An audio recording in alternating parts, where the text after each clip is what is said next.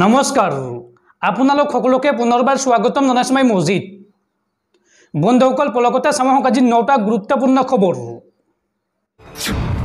প্ৰথমটো খবৰ বাল্য বিবাহ কৰোৱা অবৈধ স্বামীসকল সাৱধান। শেষবাৰৰ বাবে সকিয়নি দিলে মুখ্যমন্ত্ৰী হিমন্ত বিশ্ব শৰ্মাই। বাল্য বিবাহ পাৰ্ট টু অভিযানত গ্ৰেপ্তাৰ হ'ব প্ৰায় তিনি হাজাৰ অবৈধ স্বামী। আজি এই কথা ঘোষণা কৰিছে মুখ্যমন্ত্ৰী হিমন্ত বিশ্ব শৰ্মাই। আগন্তুক দহ দিনৰ ভিতৰত ৰাজ্যত হাজাৰ হাজাৰ অবৈধ স্বামী গ্ৰেপ্তাৰ হ'ব। শেষবাৰৰ বাবে সকিয়নি দিলে মুখ্যমন্ত্ৰী হিমন্ত বিশ্ব শৰ্মাই। অবৈধ স্বামীৰে ভৰি পৰিব ৰাজ্যৰ আৰক্ষী থানাসমূহ। বাল্য বিবাহ পাৰ্ট টু অভিযানত গ্ৰেপ্তাৰ হ'ব প্ৰায় তিনি হাজাৰ অবৈধ স্বামী। খেদি খেদি আৰক্ষীয়ে গ্ৰেপ্তাৰ কৰিব অবৈধ স্বামীসকলক। গাড়ীয়ে গাড়ী অবৈধ স্বামী গ্ৰেপ্তাৰ কৰিব অসম আৰক্ষীয়ে। আজি এই কথা ঘোষণা কৰিছে মুখ্যমন্ত্ৰী হিমন্ত বিশ্ব শৰ্মাই। পৰৱৰ্তী খবৰ বন্ধন বেংকৰ কৌটি কৌটি জনতালৈ বা বন্ধন বেংকৰ কৌটি কৌটি কৌটি গ্ৰাহকলৈ গুৰুত্বপূৰ্ণ খবৰ। বিশেষ সতৰ্কবাণী বন্ধন বেংক কৰ্তৃপক্ষৰ। এক ছেকেণ্ডত আপুনি হেৰুৱাব পাৰে আপোনাৰ জমা ধন ভুলতো নকৰিব একেটা কাম। বন্ধন বেংকৰ কৌটি কৌটি গ্ৰাহকলৈ ভয়ংকৰ খবৰ। যিকোনো সময়তে সৰলুকি হ'ব পাৰে আপোনাৰ একাউণ্টৰ ধন। ভুৱা ফোন কল ভুৱা মেছেজেৰে আপোনাক দিব পাৰে প্ৰলোভন। চাইবাৰ প্ৰবঞ্চকে লৈছে আন এক নতুন কৌশল। এ আইৰ সহায়ত নকল কৰিছে বহু লোকৰ অডিঅ' কেন্দ্ৰীয় চৰকাৰে এই সন্দৰ্ভত জাৰি কৰিছে বিশেষ নিৰ্দেশনা। আপোনাৰ কণ্ঠ হুবহু উলিয়াব পাৰে আপোনাৰ। পৰিয়ালৰ যিকোনো সদস্যৰ নাম লৈ ফোন কৰিব পাৰে আপোনাক। কোনো বিপদত পৰা বুলি কৈ টকা বিচাৰিব পাৰে আপোনাৰ পৰা। আৰু বিচাৰিব পাৰে আপোনাৰ একাউণ্টৰ সবিশেষ তথ্য। আত্মীয় তথা বন্ধুৰ নাম লৈ ফোন কৰে চাইবাৰ প্ৰবঞ্চকে ক্ৰেডিট কাৰ্ড ডেবিট কাৰ্ডৰ তথ্য বিচাৰি বহু লোকক লুণ্ঠন প্ৰবঞ্চকৰ আৰু এনেধৰণৰ ফোন পালে ইমান ইমাৰ্জেঞ্চি ট্ৰেন্সফাৰ নকৰিব ধন। আৰু প্ৰদান নকৰিব ক্ৰেডিট কাৰ্ড ডেবিট কাৰ্ডৰ কোনো ধৰণৰ তথ্য। পুনৰ সেইগৰাকী ব্যক্তিক ফোন কৰি আপুনি সুনিশ্চিত কৰক তথ্য। আৰু তাৰ পিছতে প্ৰদান কৰিব ধন। আৰু এনেধৰণৰ ফোন কলৰ পৰা সতৰ্ক হওক আপুনি। বন্ধন বেংকৰ তৰফৰ পৰা সাৱধান কৰি দিয়া হৈছে গ্ৰাহকসকলক। আৰু এই সন্দৰ্ভত যিকোনো অসুবিধাত পৰিলে আপুনি যোগাযোগ কৰক one nine three zero' three zero' নম্বৰত। পৰৱৰ্তী খবৰ নিৰ্বাচনৰ পূৰ্বে মুছলমানৰ ভোটক লৈ ডাঙৰ মন্তব্য মুখ্যমন্ত্ৰী হিমন্ত বিশ্ব শৰ্মাৰ। হিমন্ত বিশ্ব শৰ্মাই এই সন্দৰ্ভত মন্তব্য কৰি কয় যে মুছলমানৰ ভোটৰ বাবে নহয় বিজেপিয়ে সদায় ন্যায়ৰ বাবে মাত মাতি যাব। নিৰ্বাচনৰ পূৰ্বে মুছলমানৰ ভোটক লৈ ডাঙৰ মন্তব্য মুখ্যমন্ত্ৰী হিমন্ত বিশ্ব শৰ্মাৰ। মুছলমানৰ ভোটৰ কথা আমি চিন্তা নকৰোঁ এই মন্তব্য হিমন্ত বিশ্ব শৰ্মাৰ।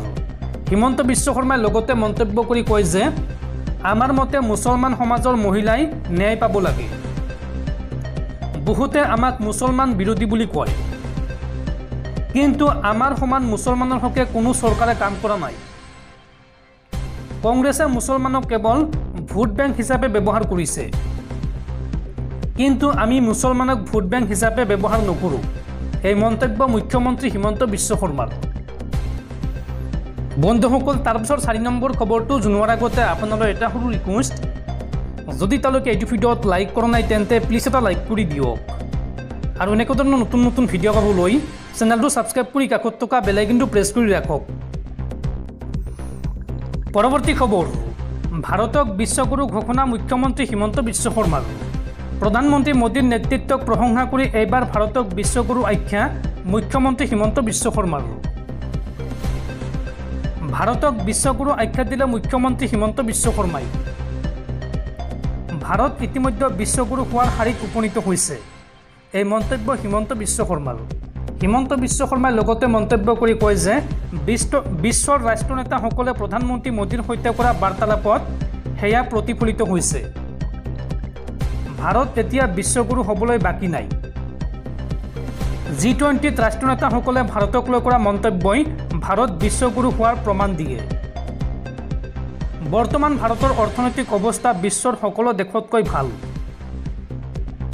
ৱৰ্ল্ড বেংক আৰু আই এম এফৰ তথ্যত ভাৰতৰ অৰ্থনৈতিক ক্ষমতা প্ৰমাণিত হৈছে।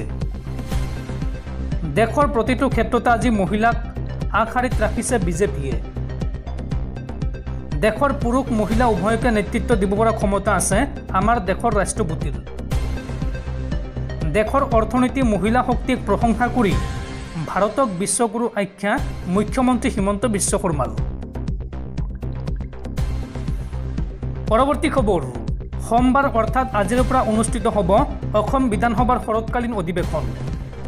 পাঁচদিনীয়া কাৰ্যসূচীৰে আজিৰ পৰা অনুষ্ঠিত হ'বলগীয়া বিধানসভাৰ শৰৎকালীন অধিৱেশন এইবাৰ হ'ব পূৰ্বতকৈ পৃথক। এইবাৰৰ পৰা পেপাৰলেছ প্ৰক্ৰিয়াৰে হ'ব বিধানসভাৰ অধিৱেশন। পৰৱৰ্তী খবৰ ভাৰতত সমাপ্ত হ'ল জি টুৱেণ্টিৰ বৈঠক আৰু আনুষ্ঠানিকভাৱে ভাৰতে ব্ৰাজিললৈ আগবঢ়াই দিলে জি টুৱেণ্টি জি টুৱেণ্টিৰ সভাপতিত্ব।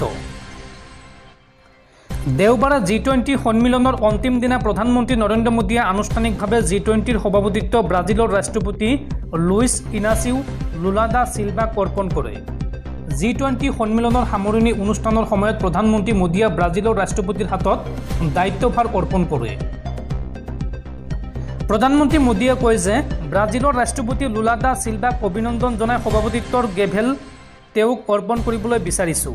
কিন্তু মন কৰিবলগীয়া যে দুহেজাৰ তেইছ চনৰ নৱেম্বৰ মাহলৈকে ভাৰত জি টুৱেণ্টিৰ সভাপতিত্বৰ দায়িত্বত থাকিব।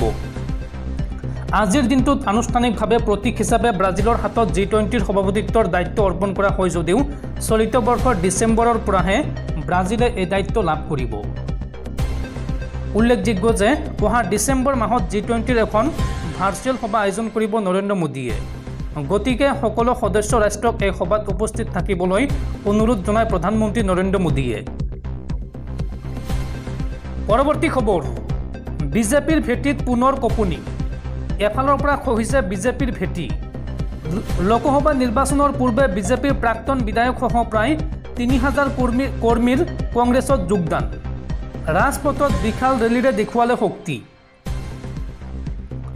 পুনৰ বিজেপি শাসিত ৰাজ্যত বিজেপিৰ খহনীয়া। এইবাৰ বিজেপিৰ প্ৰাক্তন বিধায়কৰ কংগ্ৰেছত যোগদান। প্ৰায় তিনি হাজাৰ সমৰ্থকক লগত লৈ গেৰুৱা বসন এৰি কংগ্ৰেছত যোগদান প্ৰাক্তন বিধায়কগৰাকীৰ। বিজেপিৰ শক্তিশালী নেতা গীৰ্জা শংকৰ শৰ্মাৰ বিজেপি ত্যাগ। বিজেপি এৰিলে জ্যেষ্ঠ বিজেপি নেতা ভক্তি তিৱাৰীয়ে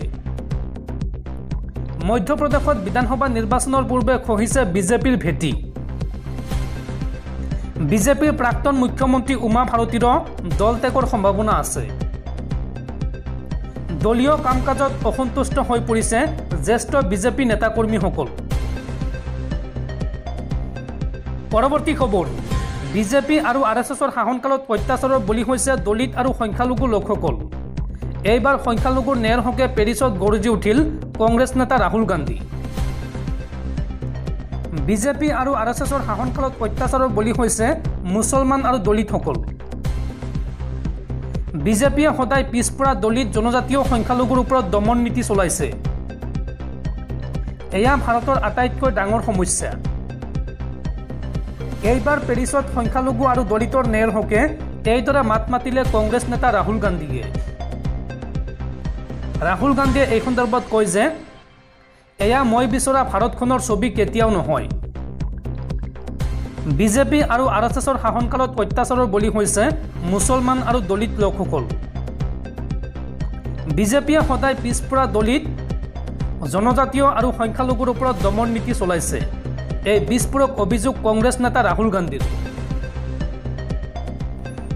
পৰৱৰ্তী খবৰ ভাৰতীয় বতৰ বিজ্ঞান কেন্দ্ৰৰ আগজাননী। আগন্তুক তিনিদিনত ৰাজ্যত হ'ব প্ৰবল বৃষ্টিপাত। এই সন্দৰ্ভত ৰাজ্যৰ কেইবাখনো জিলাত এলাৰ্ট জাৰি বতৰ বিজ্ঞান কেন্দ্ৰৰ। অসমৰ লগতে উত্তৰ পূৰ্বৰ আন আন ৰাজ্যসমূহতো বৰষুণ হোৱাৰ সম্ভাৱনা আছে। এই কথা জনাইছে বতৰ বিজ্ঞান কেন্দ্ৰই। পৰৱৰ্তী খবৰ গান্ধী উপাধিক লৈ এইবাৰ ৰাহুল গান্ধীৰ পৰিয়ালে দেশৰ প্ৰথমটো স্কেম কৰিছে। গান্ধী পৰিয়ালক এইবাৰ খুৰদাৰ সমালোচনা মুখ্যমন্ত্ৰী হিমন্ত বিশ্ব শৰ্মাৰ। গান্ধী উপাধি লৈ ৰাহুল গান্ধীৰ পৰিয়ালে দেশৰ প্ৰথমটো স্কেম কৰিছে। গান্ধী পৰিয়ালক এইবাৰ সমালোচনা মুখ্যমন্ত্ৰী হিমন্ত বিশ্ব শৰ্মাৰ। ভাৰতৰ নাম দূৰ দূৰলৈকে লোৱাৰ কথা নাভাবিব। ৰাহুল গান্ধীক গান্ধী উপাধি ত্যাগ কৰাৰ আহ্বান মুখ্যমন্ত্ৰী হিমন্ত বিশ্ব শৰ্মাৰ। পৰৱৰ্তী খবৰ ডিব্ৰুগড়ত এইবাৰ সংঘটিত হৈছে এক ভয়ংকৰ ঘটনা। ডিব্ৰুগড়ত বাটত পৰি থকা অৱস্থাত উদ্ধাৰ হৈছে এহাল যুৱক যুৱতী আৰু যুৱতীগৰাকীৰ ইতিমধ্যে মৃত্যু হৈছে। সংকটজনক অৱস্থাত উদ্ধাৰ হৈছে যুৱকজন। দেওবাৰে ডিব্ৰুগড়ৰ বুকুল বাইপাছত সংঘটিত হৈছে এক চাঞ্চল্যকৰ ঘটনা। ডিব্ৰুগড়ৰ বুকুল বাইপাছত এগৰাকী যুৱতী আৰু এজন যুৱক যুৱকক ৰহস্যজনকভাৱে পথত পৰি থকা অৱস্থাত উদ্ধাৰ হৈছে। জানিব পৰা মতে ইতিমধ্যে যুৱতীগৰাকীৰ মৃত্যু হৈছে আৰু সংকটজনক অৱস্থাত থকা যুৱকজনক অসম চিকিৎসা মহাবিদ্যালয়লৈ প্ৰেৰণ কৰা হৈছে। এইদৰে পথত পৰি থকা অৱস্থাত উদ্ধাৰ হোৱা যুৱকজন ডিব্ৰুগড়ৰ মাইজানৰ আজিজ আহমেদ আৰু যুৱতীগৰাকী মেহেক বুলি চিনাক্ত কৰা হৈছে। মৃত যুৱতীগৰাকীৰ ঘৰ খলিহামাৰীত এক বিশেষ সূত্ৰই জনোৱা মতে যুৱক যুৱতীশালী পৰি থকা ঠাইখিনিত এ এছ শূন্য ছয় এ ই এছ এক এক চাৰি তিনি নম্বৰৰ এখন ইনোভা বাহন উদ্ধাৰ হৈছে।